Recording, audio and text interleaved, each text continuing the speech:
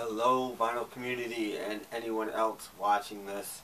I thought maybe it was time to do another vinyl update video. Um, the other day, me and my friend Mike, we took a trip to um, Rochester, which is, I don't know, 120 miles away, maybe, something like that, maybe a little less and uh, we decided to hit up a couple of record stores, a guitar store, whatever there. Just make sort of a day of the trip. And uh, wound up going to two places. He had to get back um, by 4 o'clock. So uh, we didn't do too much, but um, I went to a store called Record Archives, and another one was the House of Guitars, which is an amazing place. Um, tons of guitars in glass cases. I'm a Dano Electro. I'm a Dano Electric. Yeah. Danelectro. That's the word I'm looking for. Fan. And uh, they had a few really nice ones. I was like, uh. but anyway. On to records. They have another room. Room. Yeah, it's the size of a small warehouse with nothing but records in it. You could spend a week in there. and not see everything. Nothing's in order, just stacks of records everywhere, but tons of new vinyl. And uh, surprisingly, both of these places had a lot of stuff left over from Record Store Day. Not just this one, but Record Store Days past right up through the beginning. So I spent more time looking at Record Store Day items than I did anything else. In fact, I didn't even look at used records at uh, House of Guitars at all. Um, anyway, I did buy um, some things that I missed on Record Store Day, and I'm also going to show some things that I've gotten a couple other places that I didn't get from that trip as well. I'm going to mix it all together. Um, so here's some recent finds, and I'm going to show a couple 45s first, including they released three Jeff Becks on um, Record Store Day, but this was the one that I really wanted. Hi Ho Silver Lining is my favorite Jeff Beck song. And uh, so I picked it up. There's the back of the uh, disc. I didn't get the other two. And um, it's cool. They put it on um, an Epic promo label. Sundazed put this out. And the other side has that Epic promo label. And uh, it's on red vinyl. So I thought that was awesome. And this one I didn't know about. Emitt Rhodes. I'm a huge Emitt Rhodes fan. Emitt Rhodes covering the Bee Gees. How can you mend a broken heart? It's back with Chris Price and Please Read Me. That was a good track too. I've listened to both of these. And the best quality I've ever heard the Jeff Beck was on this 45, so I was very pleased with these. And this one is on a British style small hole 45 and again on red vinyl. And this was pretty cheap. I and I've played it and I really, really like it. I was so happy to find this and it was the only one they had. So more record store day stuff. Along with the replacements, Alex Chilton, which I didn't get on my trip. I did get this um, online, although I did see it for the same price I paid while I was there. This is, of course, the 10 inch. I actually have an original of this on 45. It came out in a 45 EP from England originally, but I got Ice Sprung for the 10 inch. I'm a huge replacements fan and uh, wanted the Alex Chilton EP because I'm a huge Alex Chilton fan as well. This I didn't get on the road trip either the Tomorrow album, but I did again see it for about the same price I paid. I had to have this, and um, someone who was it? Someone I watched got this on Record Store Day, and the vinyl in here is really cool, but I haven't opened it up yet. Um, Hogsy Report, Ron showed this, and it's I love the album. I have it on CD, and I love that they did the flip back cover on the back, the folded the edges over. Awesome, awesome record. And I had to get the Zombies album that never was, R.I.P. I don't know if you can see it, but the faces are in the album on the black. It's really hard to see. It's kind of a cool cover though. Uh, let me move this light. It's giving me a little glare. That might help a little. And this I forgot about. This I did pick up on the road trip. The Temples, sort of live EP. And um, I'd forgotten it came out. And I saw this and I went, oh, hey, I forgot something. Um, all of this they didn't have at uh, the record store I went to on record store day. So, and um, Flipside CT showed this, and uh, I'd forgotten about this as well, and uh, saw it and grabbed it up. It's on green vinyl, the second Saints album, and I have heard this before, and it's really, really good. So I was happy to get that.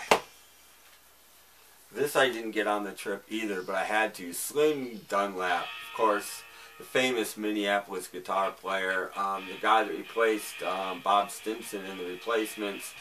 He hasn't been doing well lately. I haven't heard his progress lately. I don't know if he's recovering or not. But he's a fantastic guitar player. And um,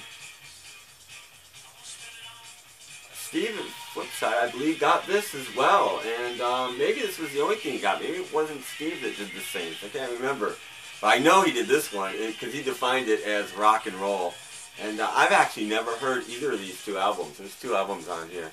Um, the Old New Me and Times Like This. But I do look forward to it. It comes with um, a poster, 45 adapter, and a guitar pick. So, cool. And this was dirt cheap. I got this online. It is a record store day release. Lord Sitar, his version of I Can See for Miles is fantastic. And uh, I picked this up for under 10 bucks online. Um, amazing. And again, it's got the flip back, back cover. It's just a cool album. You'll see all those are sealed. I haven't gotten to any of them. And I had to pick up The Family Way. I was, I don't have one, and I was deba debating it, and um, I'm a huge McCartney fan, and I'm like, I, I gotta get it. So I picked up The Family Way, but you've all seen this a million times by now. And this was um, Hog's Ear as well. Ron recommended this, and I've heard it, and um, I haven't opened mine yet, but I have heard it, and it is really, really good. The Sonics got back together, made a record for Record Store Day, and uh, there's some old Sonics there for you. And um, fantastic album in mono. Sex Pistols, Spunk, more road trip, as was the Sonics. I used to have this on CD. It's come out in many, many versions. I haven't played this yet. I hope it's one of the better ones. The one on CD I bought in London, actually, at the airport. and um, I don't have it anymore, so I'm hoping this is a good replacement for it. Um, it's basically was a bootleg at one point, and they released it. And uh, track listing there if you want to pause it. I was looking for actually um, 13th floor elevators when I came across the Teenage Fanclub. um, their man-made LP. I was like, wow. So I had to grab that. I'm a huge Teenage Fanclub fan. And then I found Shadows by the Teenage Fanclub and said, oh my goodness. So I had to get that as well. Now, Record Archives, I did go through the used bin, and my friend Mike found this and said, hey, have you seen this? And I just, my eyes bulged out of my head. All the best. Stiff Little Fingers. This I have on CD as well. But to find it on vinyl, the double record greatest hits, and uh, it's immaculate. And um, I was just, whoa. This was, this and the Emitt Road singles were the finds of the day. I thought this was pretty cool. The Byrds Sanctuary. I did not know Columbia Records, well, along with Sundazed, put this out. Um, this is sort of a collection, I think, of some of the bonus tracks when they released, reissued the CDs. There was four or five bonus tracks on each one. This is some of the better ones of those. It's got alternate versions of All I Really Want to Do, Feel a Whole Lot Better, The World Turns All Around Her, It's All Over Now Baby Blue, She Don't Care About Time, It's No Use, You Won't Have to Cry, I've played this and it's really, really good and it sounds fantastic. This was really cheap, but I had to get it. Dan Hicks and his Hot Licks original recordings. This is a greatest hits collection of some of this stuff. And it's got the original version of I Scare Myself, which Thomas Dolby had a hit with in the mid 80s. But Dan Hicks did the original, and it's on here, and that's why I picked that up for my podcast. I saw this and I went, whoa. I'm not even sure what this is called. Breakaways? The Breakaways? It's Paul Collins and Peter Case. Of course, they were both in the beat.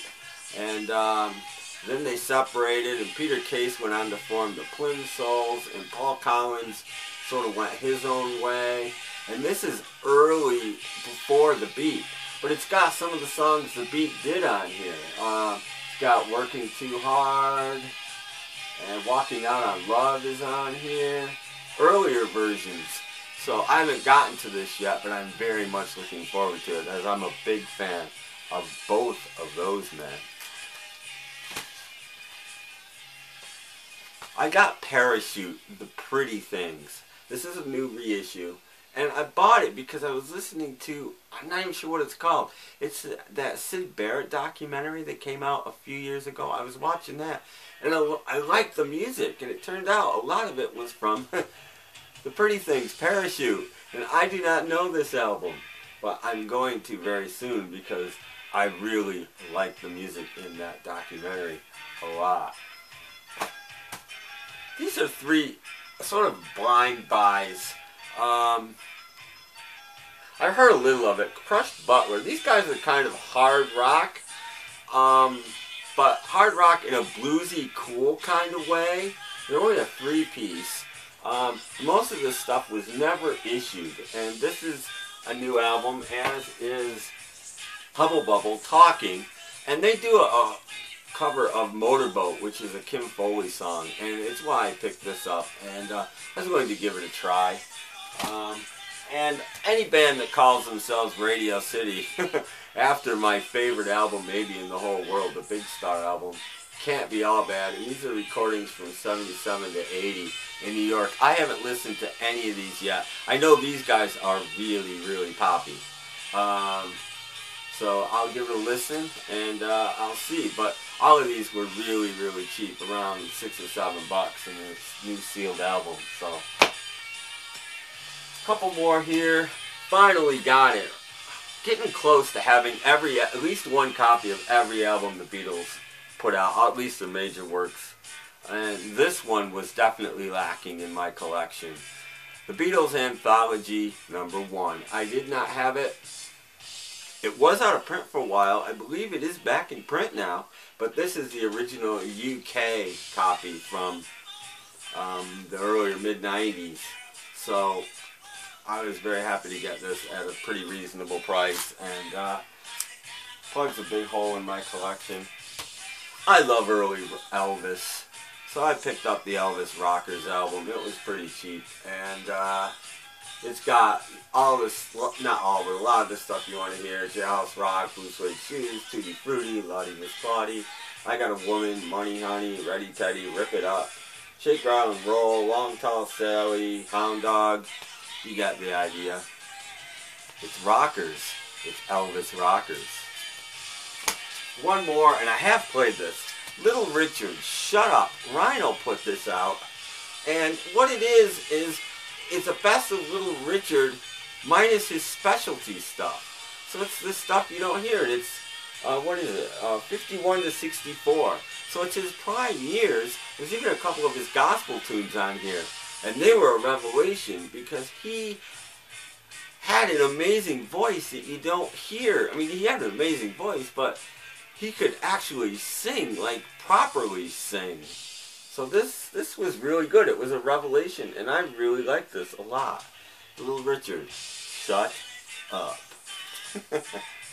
okay, well that does it for my uh, little road trip and uh, a little bit beyond. Um, hope you enjoyed the video and uh, you liked everything I got. Like, subscribe, and comment. Um, and please check out my podcast, snapcracklepop.podomatic.com.